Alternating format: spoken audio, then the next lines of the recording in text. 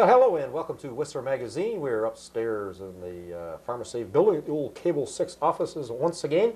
I'm Jim Monahan and a very special guest, and it's great to have her with us. This is Florence Petersen from the Whistler Museum and Archives. Thank you, Jim. Florence, it's, it's really super to see you and, uh, and have you. Well, it's always nice to get a plug for the museum Yeah. and the archives. Yes, So I'm happy to be here. Yeah, okay, great. We'll just give you the location on that quickly, and you should know if you're from Whistler, but if you're not, uh, and you happen to be in the area, it's uh, just as you come into Whistler, it's actually across from Function Junction, Right. which is, oh, we'll put it in miles. If you happen to be from America, it's about four or five miles south of the lights of the Husky, or maybe 10 miles south from the, uh, Really. from the town center, but uh, I'm sure people can find you down there, uh, Florence Petersen. We hope they do. It, it's uh, it's not a uh, a real big building, but it, it, it's uh, it's big on the inside. There's no question about that. If you Mhm. ever get a chance to get down and have a look. Uh, Florence Petersen, uh, we're going to talk a lot about the uh, about the archives and the, and the museum business, but uh, just want to mention too that you're always you're also a marriage commissionaire. In is it is all of Whistler or Pemberton It's and everywhere? It's the Sea to Sky corridor. There are four of us. And when people are on holiday, we cover each other. So I've done them at Shannon Falls and as far north as Devine the other day, and, and all way points in between, up the mountains, winter and summer, on the lake shores and uh, in the parks, and in many lovely hotel rooms and condos. And Yeah, I think that you, you yeah you get into some pretty unusual spots, don't you? yeah, some super times that you wouldn't get otherwise, I think, especially by heli. And uh, um, that's rather exciting for me, anyway, Yeah. to get up there. Sure, absolutely. Get up to the top of the mountain. Uh, is there a favorite spot for uh, people getting married around Whistler these days? I know Rainbow Park seems to be real popular. A lot of people Rainbow is there. coming in. Brew Creek has become very popular. It's a nice retreat, secluded area, and people are having, I think they have weddings nearly every weekend there. Yeah, they're doing well, and it's very nice for them. Um, the mountains are both popular winter and summer. Mm-hmm. Uh, um, people who have met in special spots, I sometimes hike up behind Emerald or Alpine to a special grove where it's meaningful for the couple. I did my first one in the school, the new community school. Oh, really? Our Because new Myrtle our Phillip new school? Myrtle Phillip, a wonderful yeah. community center there, and a lovely room that has um, uh, sort of like a bay window effect called the Miller Room. Lends itself very nicely looking out onto the grass and the trees. Setting was really great, That and that's a nice backup for a, a bad weather day. Absolutely, yeah. And of course, that school has only been open for a couple of weeks. So Yes, You're, mhm. you're already busy down there. Oh yeah, wow, was, yeah, it went well too. Yeah, it's uh, interesting what people come up with. It really Yeah, is. yeah, Mhm. some of those great ideas. Well, now we're going to have to uh, get to a lot of the uh, a lot of the things here, but uh, Miller, I'm going to remember that. It's the Miller Room. Miller Room. Miller, Miller Mhm. Creek. That's right, for old John Miller, an early Yeah. prospector. In fact, it was he who Myrtle and Alec Phillip met when he was down in Vancouver in 1911 delivering his furs to the Hudson Bay Company. And uh, he had a cup of coffee and a little grill down near Gastown today and talked about the fantastic scenery and the super fishing At Alta Lake. at Alta Lake because Right. he had a little place right down there at Function Junction, a roadhouse sort of on the old Pemberton route. And Alec had always had in his mind that he wanted to have a fishing camp.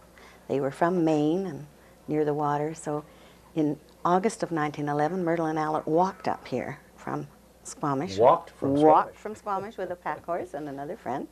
Visited old John and uh, surveyed around and came back the next year and bought what is now Rainbow Park.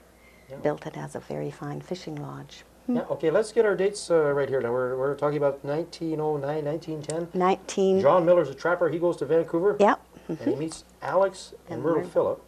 1911. Uh, they've just been married, in 1910. uh, but then then they decide to come to Alta Lake, which eventually gets to be Whistler here, but we'll get to that have, a little bit. yeah, you have to tell them that. And it ends up that uh, our school becomes uh, Myrtle Phillip School. This is actually Myrtle Phillip School too, because we, Mhm. we've had one, but that's been taken up, and this is the second one. It's been called the Myrtle Phillip Elementary School, and now because the community center is combined, it's the Myrtle Phillip Community School.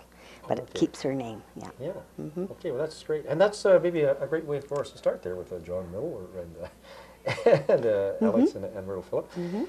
Uh, you've been along here involved in community groups for, for quite a while, but uh, maybe just uh, a little bit about yourself here, Florence Petersen, before I get too much into that. You originally from Vancouver? You were a Burnaby. school teacher? Yes, hmm high school Burnaby. hmm Yeah? Yeah. Uh, Burnaby. Uh-huh. Gosh, a West Coaster. Yeah, a West Coaster, born in Vancouver and raised in Burnaby. Good for you. Well, I'm Yeah. a little ways away. I'm from Alberta. You know, oh, not far. Not too far away there, but uh, a recruit. I uh, came to my senses.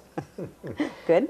And I, how, how long in Whistler, though? Did, did you teach I- school in Whistler? No. No. Um, in the days that I thought about coming, it meant traveling to Squamish or Pemberton to the high school. And I mean, there really wasn't a road. It was just rubble. And it meant that I would have had to stay out during the week and come home weekends. And so I thought I might as well stay where I was established, which I did, and came home weekends for Yeah. umpteen years. Yes, four other girls and I first came as a summer uh, resident uh, 37 years ago.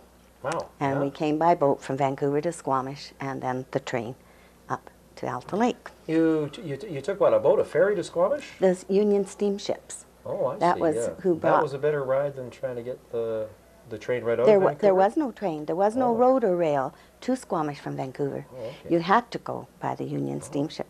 And it visited Woodfibre and um, Britannia Beach, and it took all their supplies in and took their mail out and all that sort of thing. It was the link to Oh, Vancouver. okay. Yeah. I didn't know that. See, Yeah. now I am one of these Yeah. Johnny come latelys. I figured there's always been a road and there's always been a No, railway. no. So the, the uh, Pacific Great Eastern Railway is what it Yes, was. it was. Only went from Squamish up, and of course it ends up Exactly. in Prince George and whatnot.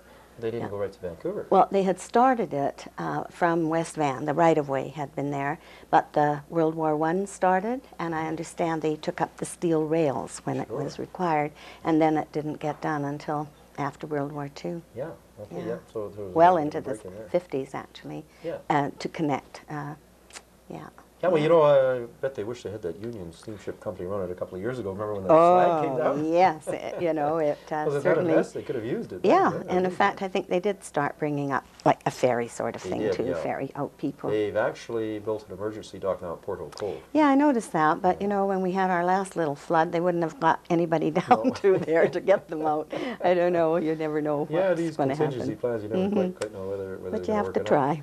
Yeah, but hey, that sounds like a great adventure though, because you get you get a, a terrific uh, boat ride up Howe Sound, Oh yes, definitely. and then you're on the train, which is a, which is a fabulous ride too. Took you all day, you Oh, know, sure, yeah. because we left uh, foot of Columbia Street in Vancouver at nine-ish in the morning, and it called in and made all these stops and loading and unloading. And you'd get into Squamish, and there was a boat train, and you got off and carted all your things onto the train, and it would shunt up the mile into town and stop because yeah. it waited for the loaded freight cars to come in when the tide brought the barges to unhook and bring. Oh, okay, yeah. So sometimes you were two and yeah. three hours waiting around Squamish.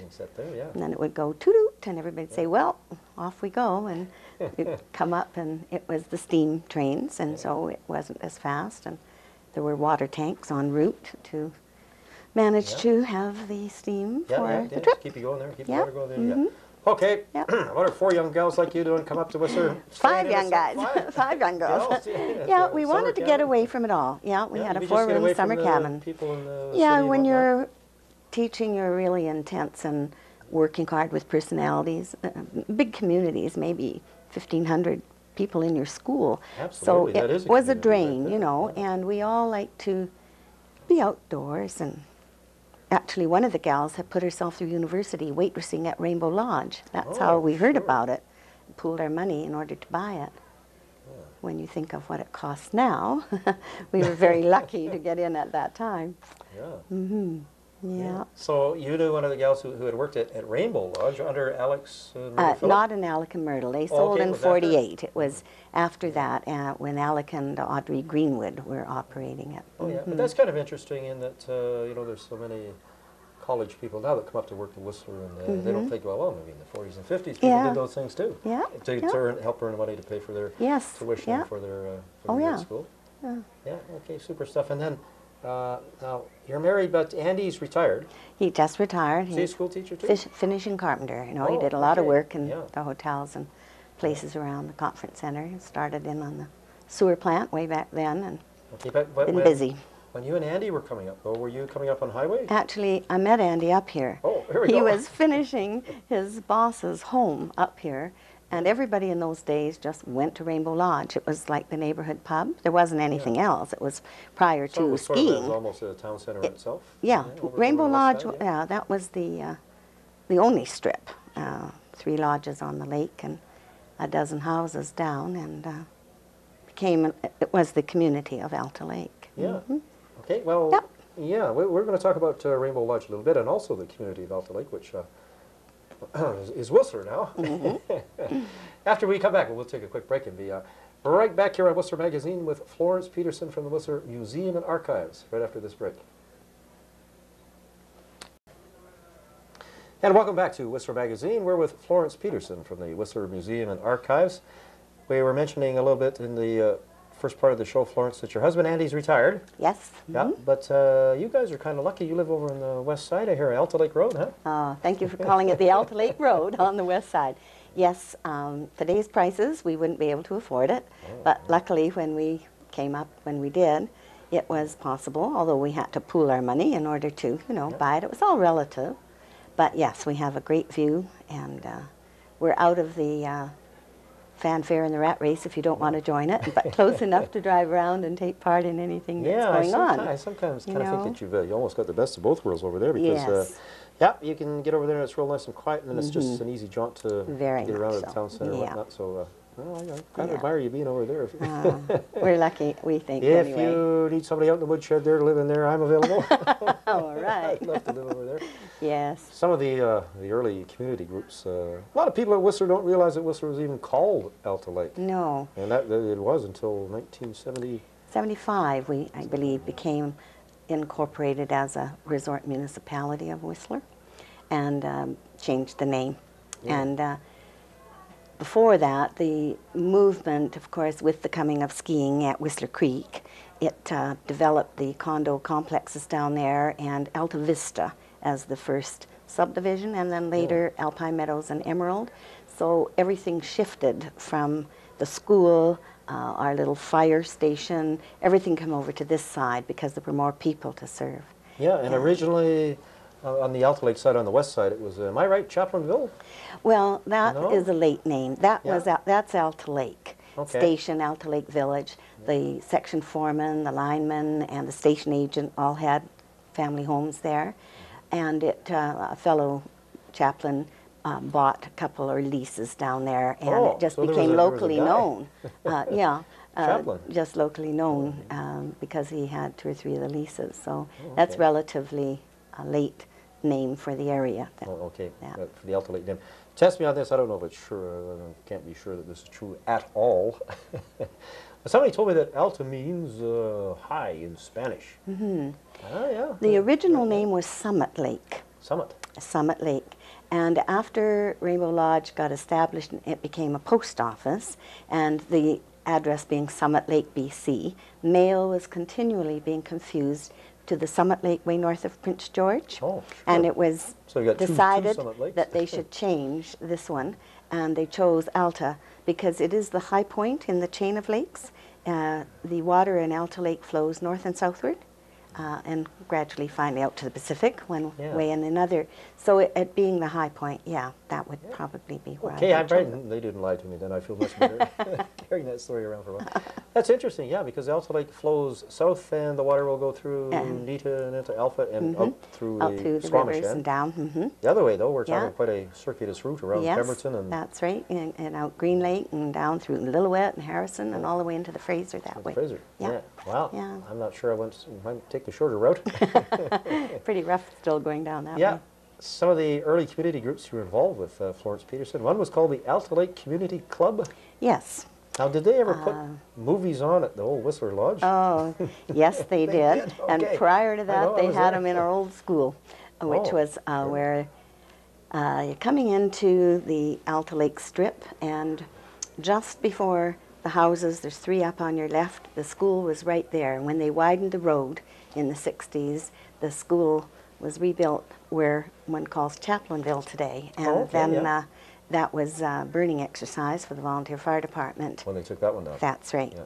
And that was the community hall. Yeah. uh, the poker parlor, the movie house, the school, and everybody just shifted tables or benches or school Yeah, desks. whatever the event was on, you'd, you'd That's fit it all right. in, in the same hall somehow. And huh? uh, after, as I say, Alta Vista developed and Whistler Mountain opened, there were more people over there. So the Beauregards, Pat and Dennis, did a great deal through the winters at traveling over there, often by foot, to put them on at the Whistler Mountain Lodge, which was Hillcrest Lodge originally. Hillcrest Lodge. Yes. Okay, I remember. Uh, I remember being there. Yeah, and I, I still remember the name too, Alta Lake Community mm-hmm. Club. Although I was. Good never an official member, mm-hmm. but mm-hmm.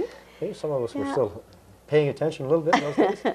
then we uh, there's another one called the Alta Lake uh, Ratepayers Association. That's Right. current though, still. Isn't Yes, it? I believe, uh, although I don't hear much of it lately, but we founded that in 1961-62, and that was because more people were coming up, and there was a lot of um, uh, future with the coming of the skiing, knowing there were going to be a lot of people, and we were still unorganized territory, and therefore they wanted to have sort of some unit in order to have a policy.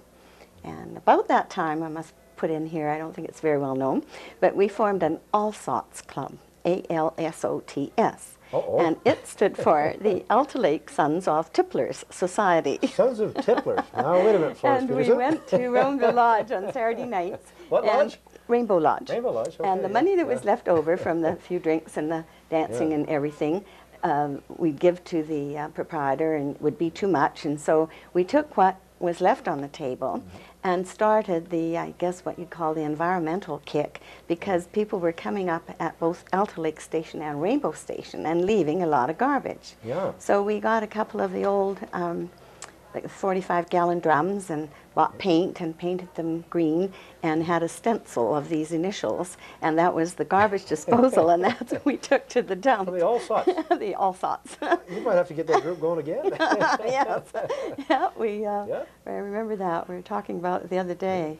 Lots of fun, you oh know. gosh, Lots yeah, of fun. yeah. Sometimes when You the made your own are, fun, are smaller like that, that you do yeah, too. Yeah, yeah, yeah. that's right. Uh, Okay, I'm gonna I'm gonna hear the story about Burnt Stew Basin too. But before we get that far, there's uh, one other thing that I want to mention. People don't uh, realize. I think that's uh, you were at one time a member of the Canadian field hockey team. Oh, yes. Yeah. Uh, when I was younger and fitter. uh, mhm. uh, actually, there are three of us up here. Oh, Pat. Beauregard, Jackie Pope, and I have all played on the Canadian field hockey team. Yeah. Yes, and uh, had a great many trips and good times out of it. Yeah. Did Have you get, had, get uh, travel all around Canada or uh, outside of Canada actually, we traveled. Um, at that point, we were playing. It was mostly just in British Columbia, in Okay, yeah. Mm-hmm. Canada, and we played the Western states. And yes, we went to Australia for World Cup Wow. and traveled Yeah. through New Zealand and didn't play in Fiji and Hawaii, but saw that. And then we were overseas to the World Cup in Holland, and we had a pre-tour in England, Scotland, and Wales. Wow. Yeah, so we have had a had a lot lot of good times that, out huh? of our field hockey. Yeah, we owe it a lot. Yeah. Okay, yourself, Pat Beauregard and Jackie Pope. Jackie Pope, yeah. Yeah. mhm. Gee, well, Yeah. congratulations. That, that must have been an awful lot Yeah, that was a great time. Uh, Yeah, and what a great way to see the world too. Oh, hey? You're for with sure. a gang and you get, you get to play some games. Mhm. And, uh, And when you go to Great these countries, they host you when you've come a long way, and they give you pre or after tours, and you're billeted in homes, and see all the sights in the play every other day, and in the traveling or sightseeing in between.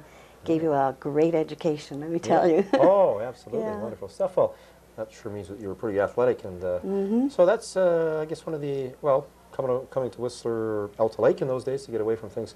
Also skiing. Did you ski an awful lot? I didn't ski a lot, no. No? I was uh, skiing, and we got a, a Dutch coach who forbade us to ski when we Oh. were on the team. Well, In if you were case you broke a leg, hockey, you were going to play field hockey and not If you're gonna follow ski, up the gonna ski one attack, you know. So Yeah. I didn't really get back to it much. Uh, I did a little in the 60s, but when Whistler opened, uh, it was a little bit advanced. Uh, there weren't any sort of uh, intermediate runs that I was. Yeah, it really was. They capable started out with a They tough ski hill, started out really, you know, for good skiing, and it was just a little bit beyond me, and I had other things to do, so I didn't persevere. Okay, but you must have been up there at one point because yeah. Burnt Stew Basin Oh, is yeah. apparently your stew, is it? yes. Well, that was a summer trip. What happened? A summer Oh, it was a summer trip. Yeah. Oh, The local station agent, Don Gow, who now lives in Squamish, and uh, Kelly Fairhurst, one of our 5 Uh-huh. who married Dick Fairhurst, who operated Cypress Lodge, which is now the hostel. Um, Mm-hmm. We went for a hike, and uh, we were out for a week and heading back into the Spearhead. And it was the second night out, and we had stopped and built a little stone fireplace in the creek bed and hung up mm-hmm. our billy can and threw everything left over and some stew into it, and then sat down for a happy hour looking out, enjoying the scenery, and we all forgot that Oh, it should have been stew was on. stirred till we had a terrible smell. So we thought it was quite funny, and we built a cairn and, and tacked a washcloth on a twig and had a flag and put down a little sign saying, you know, we hereby christen you Burnt Stew Basin. Alrighty. August, something like 15, 16, 17, 1958. and it stuck kind It of, well, yeah. other hikers went in and Yeah. uh, I said, okay. it just sort uh, of Okay, this is it. was yeah. a stopover. and so, yes, it stuck. Well, that's a Mm-hmm. great story, Florence, and it's still there today if you get a chance to ski Whistler Mountain. You go right up the peak left and you turn left and you just follow it around. And gosh, you should come up and ski it sometime. Have you skied it? no, It's no. I easy as pie. Really is. They've got a beautiful outrun there, and it, it comes around. It's uh, it's not nearly as tough as you think it might be. And it'd be great to get back into the you know the Burnt Stew Basin Yeah, again. yeah. Because it's marvelous in the, in the winter too. Because it's uh, uh, No, I haven't just a seen it in the winter. Snowfield. Oh, it's beautiful. We're going to get you up there. Okay. Promise you, we'll figure it out. We're going to take you up by helicopter. We'll get you up okay, now there I might make a it. deal. yes. Okay, well, stay with us. There's uh, three eras that I want to get uh, Florence Petersen to talk about. Well, one's called BS, and I'm going to let her explain that to you. then there's a skiing area that got started, and then, of course, when the town center came to Whistler. So stay with us. We'll be right back with Florence Petersen from the Whistler Museum and Archives here on Whistler Magazine on Whistler Cable 6.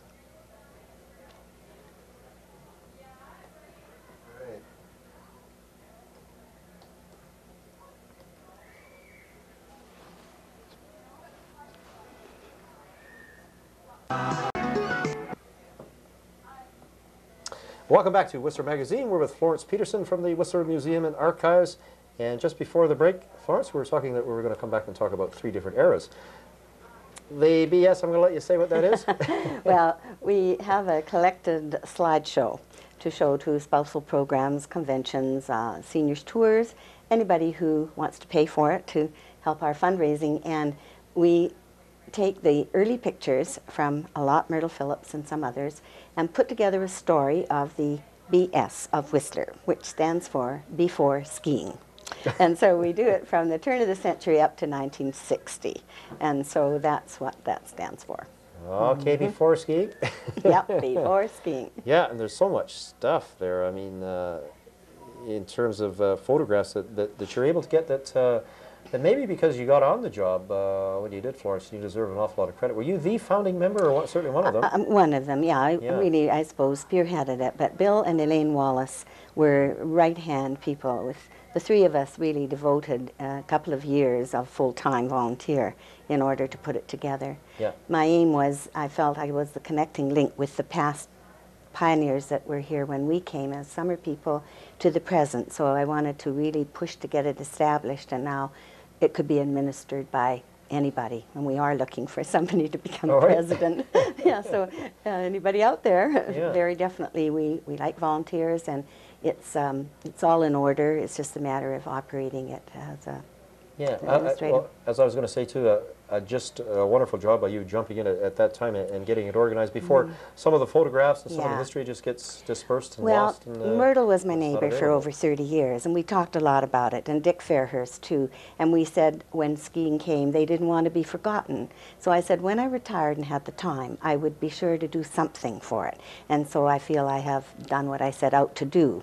And um, it was great because Myrtle had all her pictures to me before she died, and so we got a lot of her artifacts that she had willed to us, and so we had a good start. It was really Yeah. because there weren't a lot of people here through the years, and many didn't stay, so it's hard to trace them down. Absolutely, yeah. Hard to keep track of everybody. Yeah. Then the skiing hit in the 60s, and uh, we Mm-hmm. won't go, won't go over this too much because uh, we want people to come down to the museum and archives and see some of this stuff. Mm-hmm. But a lot of people don't realize either that Whistler Mountain, when it opened in 1965, was, was really built with the Olympics in mind. Yes, it was a group of um, Vancouver businessmen who wanted to uh, bid for the Olympics, and they formed the Garibaldi Olympic Development uh, Association. Um, and they put on a great uh, push for it, and uh, it didn't materialize. It was a little before its time, I think. It was a great vision, um, but a very difficult thing to put forward.